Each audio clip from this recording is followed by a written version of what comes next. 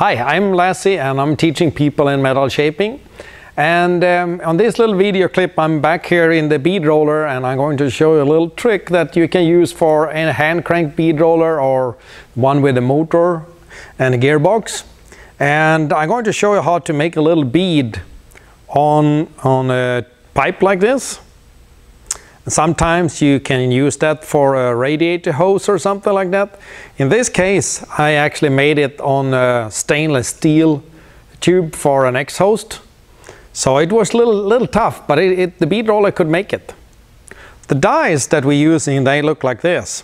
So I came up with a really small one on the top, and then I have a little bigger one on the bottom, so I still have two inches between the shafts when they are parallel.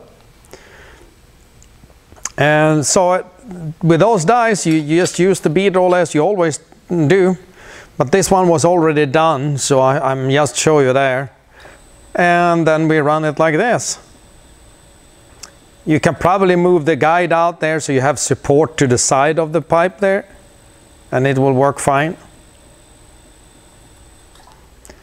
This is just something different that, uh, that you can do in a hand crank bead roller, motorized bead roller. But it, it's just a little trick and because of the dies that is so small, it's only a little more than one inch, one and a half inch almost. And that means that you can go even smaller uh, pipes than this.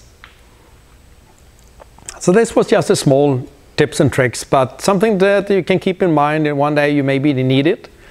And if you want more information, go to youtube.com slash Shaping.